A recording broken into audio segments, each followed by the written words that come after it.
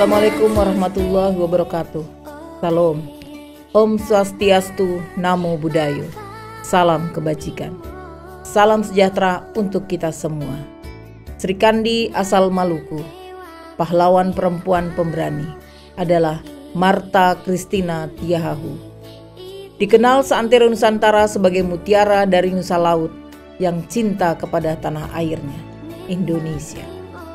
Ia pernah berkata, Tanah ini adalah tempat kita dilahirkan. Jangan biarkan penjajah itu merebut. Penggalan kalimat tersebut diucapkannya dengan lantang sekian abad yang lalu kepada masyarakat Maluku. Sri Kandi kebanggaan masyarakat Maluku ini membakar semangat untuk terus bangkit. Bagi saya, semangat itu masih tertanam pada generasi penerus hingga saat ini. Bahwa yang namanya penjajahan bukan saja secara fisik di masa lampau, tetapi juga dimaknai secara ekonomi, pendidikan, kebebasan berekspresi, dan subjek kehidupan lainnya di masa kini. Secara ruang lingkup nasional, Provinsi Maluku sebagai salah satu provinsi pertama dan tertua telah banyak memberikan kontribusi besar kepada bangsa dan negara. Dari aspek kualitas SDM yang mumpuni, kekayaan sumber daya alam yang melimpah, dan yang tidak kalah pentingnya adalah Maluku punya anak-anak muda milenial yang produktif dan kreatif. Semua ekosistem perihal Maluku yang saya sebutkan adalah aset penting untuk kita jaga. Layaknya kita jaga mutiara hitam di dasar laut.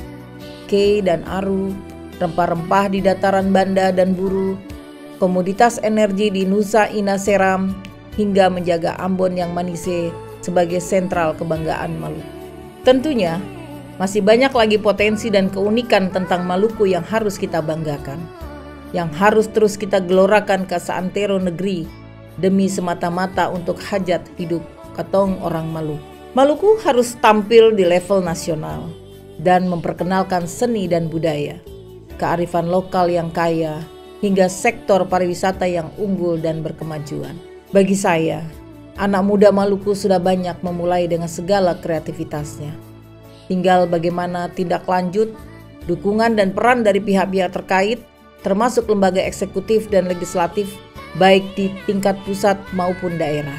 Melalui podcast Tita, Tina Tamher Official, saya mengajak basodara semua untuk diskusi, sharing ide dan gagasan tentang Maluku. Silahkan komentar tema apa yang akan kita bahas pada pertemuan-pertemuan berikutnya. Sudah tentu pilihan tema dari basodara semua akan kita ulas dengan menghadirkan narasumber yang berkompeten pada bidangnya.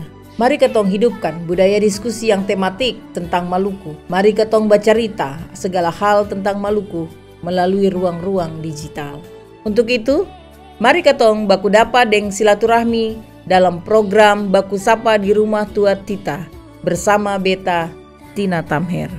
Wassalamualaikum warahmatullahi wabarakatuh. Salam. Om Santi Santi Santi Om.